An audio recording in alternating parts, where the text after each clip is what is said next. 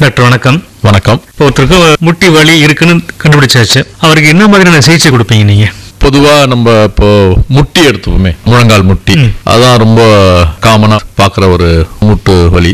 Joint பரிசோதனை பண்ண பிறகு எக்ஸ்ரே பிளட் டெஸ்ட் செய்வோம். முடக்குவாதம் ருமட்டாய்டு ஆர்த்ரைட்டிஸ்ன்ற மாதிரி பிளட் டெஸ்ட்டுக்கும் இந்த யூரிக் அமலம் அப்புறம் அவங்களோட கிட்னி ஃபங்க்ஷன் நல்லா இருக்கா? ஆனால் ஏன்னா பொதுவாக நாங்கள் ஏதாவது ஒரு வழி மாத்திரை சில சமயம் கொடுக்க வேண்டிய வரும். அந்த எக்ஸ்ரேல வந்து ஜாயிண்டோட கேப் ரொம்ப கம்மியாக இருந்ததுன்னா அந்த காட்லேஜ் இல்லை குடுத்தெலும்பு கம்மியாக இருக்குது இல்லை தேஞ்சு போச்சுன்றதான் கணக்கு. எக்ஸ்ரேலேயே எங்களுக்கு போதுமான இன்ஃபர்மேஷன் கிடைக்கல அப்படின்னா MRI scan magnetic resonance imaging அது ரேடியேஷன் கிடையாது. தாராளமா யாரும் எடுக்கலாம். அஃப்கோர்ஸ் எம்ஆர்ஐ எடுக்கிறப்ப அவங்க கேட்பாங்க. கண்ணில் ஏதாவது மெட்டல் பீஸு இல்லை லென்ஸு எங்கேயாவது உடம்புல மெட்டல் இருக்கான்னு கேட்பாங்க. ஏன்னா அது வந்து மேக்னெட்டிக் ஸ்கேன் இல்லைன்னா அது பொதுவாக ஒரு சேஃபான ஸ்கேன் இந்த எக்ஸ்ரேலையும் ஸ்கேன்லையும் அவங்களோட தேமானம் வந்து ஆஸ்டியோ ஆர்த்ரைட்டிஸ் அந்த குருத்தெலும்பு காட்லேஜ் ரொம்பவே தேஞ்சு போயிருக்கு அப்படின்னு சொன்னால் நாங்கள் வந்து இனிஷியலாக கொடுக்குற ட்ரீட்மெண்ட் வந்து கொஞ்சம் மெடிசன் கொஞ்சம் அவங்களோட ஆக்டிவிட்டி கொஞ்சம் குறைச்சிக்கோங்க. அவங்க வேலை செய்கிற ஆட்களாக இருந்தால் கொஞ்சம் நாளைக்கு ரெஸ்ட்டு படி ஏறி இறங்குறது அதிகமாக அந்த முட்டிக்கு லோடு போகாமல் பார்த்துங்கன்னு சொல்லுவோம். பிசியோதெரப்பியும் ஒரு அத்தியாவசியமானது. மூட்டை சுற்றி இருக்க சதையை ஸ்ட்ரென்தன் பண்ணால் அந்த மூட்டோட பலுவும் இம்ப்ரூவ் ஆகும். பெயின் மெடிக்கேஷன் குறைஞ்ச அளவுக்கு யூஸ் பண்ணலாம். பண்ணவே கூடாதுன்னு கிடையாது. ஆனால் அதுக்கு முன்னாடி அலர்ஜி எதாவது இருக்கா? மெடிகேஷன்ஸ் போட்டு ப்ராப்ளம் இருக்கா? பிளஸ் அவங்களோட கிட்னி ஃபங்க்ஷன் நல்லா இருக்கான்னு பார்த்துட்டு கொடுக்கறது பெட்டர் ஏன்னா எல்லா மெடிசனுமே லிவர் கிட்னி வழியா தான் வெளியில போய் ஆகணும். Normal kidney function liver function இருக்கிறவங்களுக்கு ஒரு ஒரு வாரம் ரெண்டு வாரம் போல வலிக்கான மாத்திரை கொடுக்கறது தப்பே இல்லை. குருத்தெலும்பை வளர செய்ய முடியுமா டாக்டர் இப்போ ஒரு லாஸ்ட் ஒரு த்ரீ ஃபோர் இயர்ஸா ரீக்ரோ அப்படின்னு ஒரு கான்செப்ட் இந்த மாதிரி குருத்தெலும்பு இல்ல காட்லேஜ திரும்ப வளர செய்யறதுக்கான ஒரு டெக்னிக் ஸ்டெம் செல் தெரப்பி நிறைய இடத்துல நீங்க பார்த்திருப்பீங்க. முடிக்குல இருந்து லிவர்ல இருந்து தேய்மானம் இல்ல பாதிக்கப்பட்ட எந்த உறுப்பையும் திரும்பவும் உயிர் பெற செய்யறதுன்ற மாதிரி தான் அந்த ஸ்டெம் செல் தெரப்பி ஜாயிண்ட்டை பொறுத்தவரைக்கும் ரீக்ரோன்னு ஒரு கான்செப்ட் இருக்கு. எக்ஸ்ரேவும் எம்ஆரையும் எடுத்து பார்ப்போம். இந்த எம்ஆர்ஐ ஸ்கேனில் வந்து அவங்களோட தேய்மானம் வந்து அந்த மூட்டுலேயே வந்து ஒரு சிறிய பகுதி தான் அஃபெக்ட் ஆயிருக்கு அப்படின்றப்ப முழு மூட்டையும் மாற்ற வேண்டிய அவசியம் இல்லை.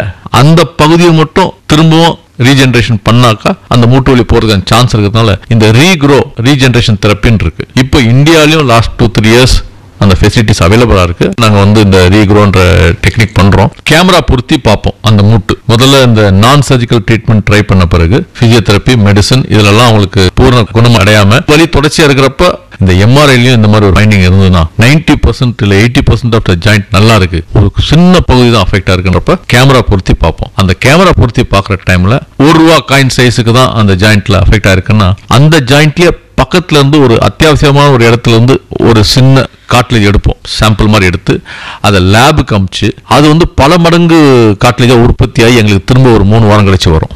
அது பிறகு அந்த முட்டியை திரும்ப சின்னதாக ஓப்பன் பண்ணி எந்த இடத்துல அந்த டிஃபெக்ட் இருக்குதோ குருத்தெலும்புல டிஃபெக்ட் ஒரு ரோட்டில் ஒரு சின்ன குழி இருந்தா முழு ரோட திரும்பி போட வேண்டாம். அந்த இடத்த மட்டும் நம்ம ஃபில் பண்ற மாதிரி அவங்க காட்லேஜை லேபு காமிச்சு திரும்ப வர அந்த காட்லேஜை அந்த டிஃபெக்ட்ல பொருத்தி ஒரு ஆறு வாரம் வரைக்கும் முட்டிக்கு ஒரு சப்போர்ட் மாதிரி போட்டு அதிகம் வெயிட் போடாம கவனிச்சு அந்த காட்லேஜ் பகுதி திரும்பி ஃபில் ஆன பிறகு அவங்க முட்டி வலி குணமடையும். பிறகு எக்ஸசைஸ் பண்ணி முட்டி மூவ்மெண்ட்டையும் நல்லா இம்ப்ரூவ் பண்ணி சரி டாக்டர் இப்போ வந்து அறுவை சிகிச்சை இல்லாம குருத்தெலும்பையே வளர செய்ய முடியும்னு சொல்றீங்க. குருத்தெலும்பு வளர செய்யக்கூடிய இந்த ரீக்ரோட்டிக் வந்து ஒரு வகையான அறுவை சிகிச்சை தான் மூட்டு மாத்து சிகிச்சை இல்லை. ஓபன் பண்ணி அவங்களோட காட்லேஜ் எடுத்து லேபுக்கு அமிச்சு பல மடங்கு காட்லேஜ் அதை உற்பத்தி செஞ்சு அப்புறம் அந்த குழியான இடத்த அடைக்கிறது தான் ரீக்ரோ டெக்னிக் இது எவ்வளவு தூரம் வெற்றிகரமா இருக்கு டாக்டர் இது? கரெக்டா நமக்கு வந்து அந்த எக்ஸ்ரேலையும் எம்ஆர்ஐ ஸ்கேன்லயும் ஒரு பகுதி தான் பாதிக்கப்பட்டிருக்கு. மிச்ச பகுதியில் நார்மலா இருக்கு அப்படின்னு என்ற ஒரு பேஷண்ட்ஸ் குரூப்ல 90% பர்சன்ட் வரைக்கும் சக்சஸ் எதிர்பார்க்கலாம். அதிகமா தேய்மானம் அடைஞ்ச ஜாயிண்ட்டுக்கு இந்த ட்ரீட்மெண்ட் பொருந்தாது. ஸோ பேஷண்ட் செலெக்ஷன் வந்து ரொம்ப இம்பார்ட்டன்ட் கிரைட்டீரியாலாம் யூஸ் பண்ணி ரொம்ப ஸ்மால் ஏரியா அஃபெக்ட் ஆகிற ஜாயிண்ட் பர்டிகுலர்லி இந்த ஐம்பது வயசு நாற்பது வயசு கீழேயும் சில பேருக்கு ரொம்ப மூட்டு வலி வரப்போ அவங்களுக்கு மூட்டு மாத்து சிகிச்சை இல்லாம வேற அறுவை சிகிச்சை பயன்படும்னா இது ஒரு நல்ல டெக்னிக் ஒருத்தருக்கு இந்த முட்டியை வந்து மாற்றித்தான் ஆகணும் அப்படிங்கிற பட்சத்துல அந்த ட்ரீட்மெண்ட்டை பத்தி சொல்லுங்க. மூட்டு மாத்து சிகிச்சை வந்து இப்போ கிட்டத்தட்ட நாற்பது வருஷத்துக்கு மேலேயே இருக்கு வேர்ல்டு வைடு இந்தியாலையும் இப்போ ரொம்ப சக்சஸ்ஃபுல்லான ஒரு ப்ரொசீஜர் ரொம்ப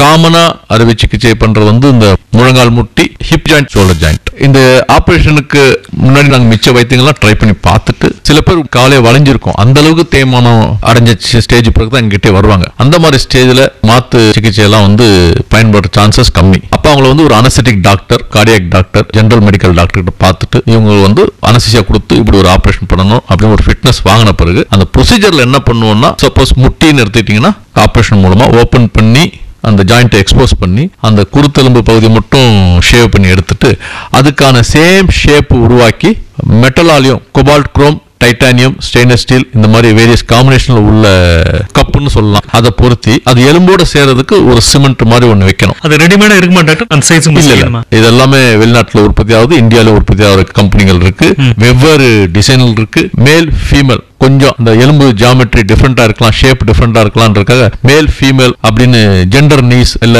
ஸ்பெசிபிக் நீஸ் அது மாதிரிலாம் கூட இருக்கு. அந்த மாதிரி உறுப்புகள் இதெல்லாம் ரெடிமேடா வெவ்வேறு சைஸ்ல வரதுதான் நம்பர் ஒன்னு ரெண்டு மூணு அந்த மாதிரி இருக்கும். நம்பர் போட்டிருக்கோம் இல்ல ஆல்பபெட் போட்டிருக்கோம். ட்ரையல்னு அப்படின்னு இருக்கும். அதை வச்சு பார்த்துட்டு இவங்களுக்கு எது சூட் ஆகும்னு பார்த்து அதுக்கு மாதிரி அந்த போன் ஷேப் பண்ணிட்டு அந்த போனோட அது இறுக்கமாக இருக்கிறதுக்கு நாங்கள் வந்து சிமெண்ட் கொஞ்சம் யூஸ் பண்ணுவோம். சிமெண்ட் இல்லாத ஒரு சில உறுப்புகளும் இருக்கு ஹிப் ஜாயிண்ட்ல முட்டியை பொறுத்த வரைக்கும் சிமெண்ட் போட்டு தான் பண்ணிட்டு இருக்கோம். ரெண்டு மெட்டல் பகுதிக்கு மத்தியில் ஹைலி கிராஸ்லிங் பாலிஎத்திலின் பாலிஎத்திலின்றது பிளாஸ்டிக் மாதிரி மெட்டீரியல் அதுதான் புது குருத்தெலும்பா பயன்படுத்துவோம். சரி டாக்டர் இந்த தேய்மானம் வந்து ரெண்டு கால்லையும் சைமல்டேனியஸா இருக்குமா? இல்ல ஒரு கால்ல மட்டும் இருந்து ஒரு கால்ல நல்லா இருக்குமா டாக்டர் ரெண்டுமே தேய்மானம் ஆகி ரெண்டு காலுமே வளைஞ்ச பிறகுதான் நிறைய பேர் வராங்க. அப்புறம் அவங்க முக்கியமா கேட்கறது வந்து ஒரே நாள்ல ஒரே டைம்ல பண்ண முடியுமா? இல்ல வெவ்வேறு சிட்டிங்ல பண்ணணுமா அப்படின்னு. பொதுவா ரெண்டு காலும் தேய்மானம் ஆகிறதுக்கு சான்சஸ் அதிகம். ஒரே டைம்ல சம்டைம் ஆகாம இருக்கலாம். ஒரு சில பேருக்கு நான் பார்த்தோன்னா ஒரு அஞ்சு வருஷம் முன்னாடி பண்ணியிருப்போம். அதுக்கப்புறம் அஞ்சு வருஷம் கழிச்சா அந்த இன்னொரு சைடுக்கு வருவாங்க. இது நல்லா இருந்துச்சுங்க இப்போ இதுவும் அதே மாதிரி வழி கொடுக்குது. இதுக்கும் அதே மாதிரி பண்ணிடலாமான்னு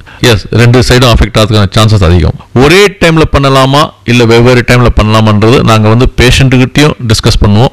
அது போக அவங்களோட உடல் நலம் எப்படி இருக்குன்னு. பொதுவாக வயதானவர்களுக்கு தான் இந்த ஆப்ரேஷன் பண்ணுறதுனால முக்கால்வாசி பேருக்கு டயபெட்டிக்கு பிளட் ப்ரெஷர்ன்றது ரொம்ப பொதுவாக இப்போ காணப்படுகிறது. அது போக அவங்களோட ஹார்ட் எலிமெண்ட் ஏதாவது இருக்கா? ஏற்கனவே ஸ்டென்டிங் பண்ணியிருக்கா? அந்த மாதிரி விஷயங்களை தான் சேகரிச்சு எல்லா பேஷண்ட்ஸையும் யூஸ்வலாக வந்து ஜென்ரல் மருத்துவர் கார்டியாக்கு அனசரி டாக்டர் பார்ப்பாங்க. அவங்ககிட்ட கலந்து யோசிப்போம். ஒரே டைமில் ஒரு நாலு மணி நேரம் ஒரு ஒரு சைடுக்கு ரெண்டு மணி நேரம் கணக்கு வச்சுக்கிட்டோம்னா நாலு மணி நேரம் பண்ணலாமா? இல்லை ஒரு மூணு நாள் நாலு நாள் கேப் விட்டு பண்ணணுமா? சம்டைம்ஸ் நம்ம ஹீமோகுளோபின் ரத்த அழுத்தம் கம்மியாக இருக்கலாம். பத்து ஒன்பதுன்னு இருக்கலாம். அப்போ அவங்க சொல்லுவாங்க இல்லை நீங்கள் இதை பண்ணிட்டு ஒரு மூணு மாதம் கழிச்சு பண்ணுங்கன்னு சொல்லுவாங்க. பட் ஒரே டைம்லையும் பண்ணியிருக்கோம். அது ஃபேமிலிக்கு சில சமயம் ஈஸியாக இருக்கும். யாராவது சன்ஸ் டாக்டர்ஸ் லீவ் போட்டு கூட இருக்கணும்னு ஆசைப்படுவாங்க.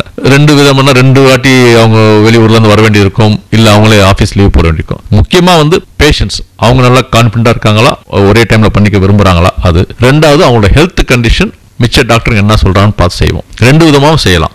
சரி டாக்டர். இப்போ வந்து அறுவை சிகிச்சை எப்படி பண்ணுறதுன்னு பத்தி சொன்னீங்க.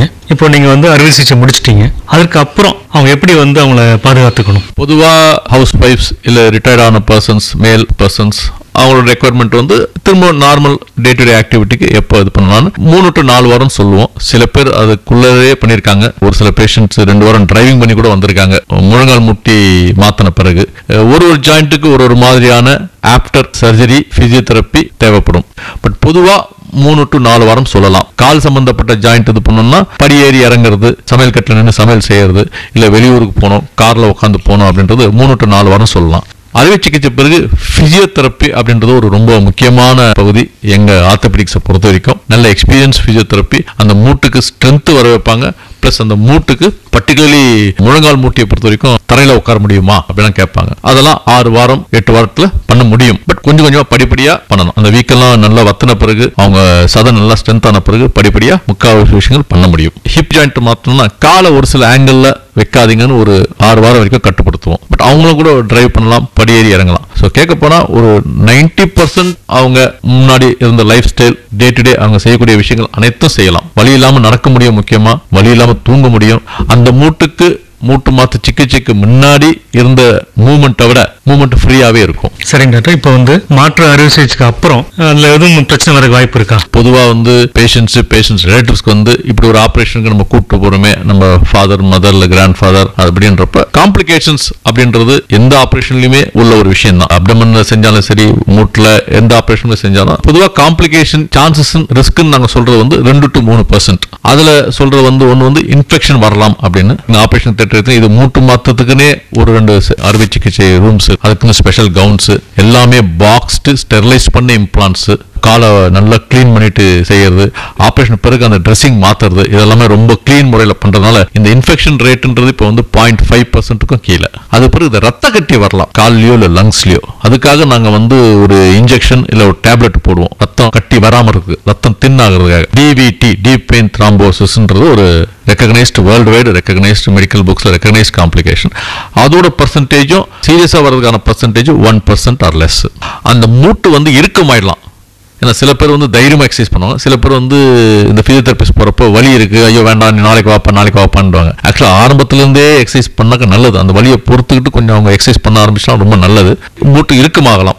அதுக்கான பர்சன்டேஜ் ஒரு த்ரீ டு ஃபைவ் பர்சன்ட் சொல்லலாம். எல்லா பகுதியிலையுமே ஆப்ரேஷன் பண்ணுகிற பகுதியில் உடம்புல எல்லாத்துலேயுமே நரம்புகள் இரத்த குழாய்கள் கிராஸ் பண்ண தான் செய்யும். நம்ம அறுவை சிகிச்சை டைமில் அது பாதிப்பு ஏற்படலாம். ரிஸ்க் ஆஃப் இன்ஜுரி அதாவது இது இந்த நரம்பு இரத்த குழாய்கள் அடிப்படுறதுக்கான காரணம் ஆப்ரேஷன் இல்லை. அது one percent or less so இதெல்லாம் கூட்டி நாங்கள் யூஸ்வலாக அவங்கக்கிட்ட அந்த கன்சென்ட் எடுக்கிறப்ப சொல்லுவோம். மூணு பர்சன்ட் சான்ஸ் இப்போ ரோட்டில் நடந்து போனால் நமக்கு ஆக்சிடென்ட் சான்ஸ் இருக்கா? அப்படின்னு கேட்குற மாதிரி இந்த ஆப்ரேஷனை பொறுத்த வரைக்கும் ninety five to ninety seven percent safe நல்ல outcome two to three percent இந்த மாதிரி எந்த ஆப்ரேஷனுக்கு உள்ள பொருந்தின ஒரு ரிஸ்க் காம்ப்ளிகேஷன் இந்த ஆப்ரேஷனுக்கு உள்ளது சொல்லுவோம். ஸோ அரௌண்ட் த்ரீ பர்சன்ட் சொல்லலாம்.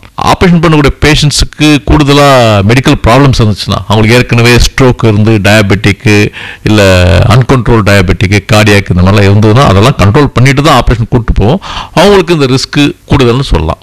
ஃபைவ் டு டென் பர்சன்ட் சொல்லுவோம். பட் எந்த மெடிக்கல் ப்ராப்ளம் இல்லாதவங்களுக்கு யூஸ்வலாக two to three percent risk மூட்டு வலின்றது ரொம்ப காமனாக பரவலாக காணப்படுற ஒரு விஷயம். யங்ஸ்டர்ஸ் பர்டிகுலர்லி நம்ம வீட்டில் இருக்கிற யங்ஸ்டர்ஸ்க்குலாம் வந்து கொஞ்சம் இந்த ஃபிசிக்கல் ஆக்டிவிட்டி இன்வால்வ் பண்ணுறதுக்கு நம்ம என்கரேஜ் பண்ணணும். சேஃபான என்விரான்மெண்ட்டில் சம் ஃபிசிக்கல் ஆக்டிவிட்டி பர்சியூவ் பண்ணணும். மூட்டு வலி வந்த பிறகு கொஞ்சம் அது ஆரம்ப காலத்திலேயே டாக்டர் பார்த்துட்டாக்கா அறுவை சிகிச்சை இல்லாத சில வைத்தியங்களும் இருக்குது அதை தான் கடைப்பிடிப்போம். அதனால் ஆரம்பத்திலேயே அந்த தேய்மானம் தெரிஞ்சுக்கிட்டாங்க நம்ம ஒரு சிலதை அவாய்ட் பண்ணி அந்த மூட்டு தேய்மானம் சீக்கிரமாக அதிகரிக்காமல் பார்த்துக்கலாம். அப்படி தேய்மானம் வந்த பிறகு வலி தொடர்ச்சியாக இருக்கிறப்ப முதல்ல நாங்கள் ட்ரை பண்ணுறது அறுவை சிகிச்சை இல்லாமல் அண்ட் முக்கியமாக இப்போ ரொம்ப வளர்ந்து வர ஒரு டெக்னிக் வந்து இந்த regrow alternative therapy regeneration therapy இதுவரை மூட்டு மாற்று அறுவை சிகிச்சையின் அவசியம் குறித்து டாக்டர் கோசிகன் அவர்களுடன்